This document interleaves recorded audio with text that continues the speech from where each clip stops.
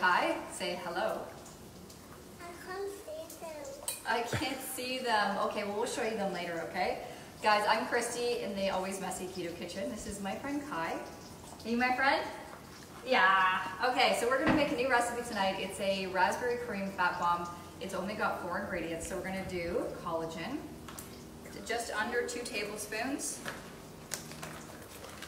Okay, 15 grams if you wanna weigh it.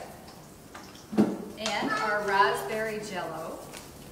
This is our raspberry jello. We're gonna experiment with some new things in a few minutes. Okay, so, the, yeah, you're gonna pour this in for us, huh? So the gelatin is really great for us. It's great for your nails, your bones, your joints, and it's great for your gut. So if anyone has concerns with their gut, it's great to improve the gut lining. And it is just great for immunity and also boosting metabolism. So all of that in a simple little powder. So definitely this is a natural one. Recommend getting natural whenever you can. Now we're gonna take our hot water. We're gonna pour that in with the jello and the gelatin. We're gonna stir that around really well. Kai, can you stir that? Stir it really well. We're gonna get all the crystals out. After that, we're gonna add the cream part. So with Kai, she's a little sensitive to dairy, so we're going with the lactose-free cream, or you can go with your regular whipped cream. How's it going? The reason we don't add this in right at the beginning is you wanna make sure that all the jello is stirred in. And if you put the cream in at the beginning, it'll actually separate. So that's why we're gonna do it this way. Oh yeah, you're gonna do it by yourself? Christmas is coming. Okay, and we've got some fun little molds here. So we've got stars and Peppa Pigs.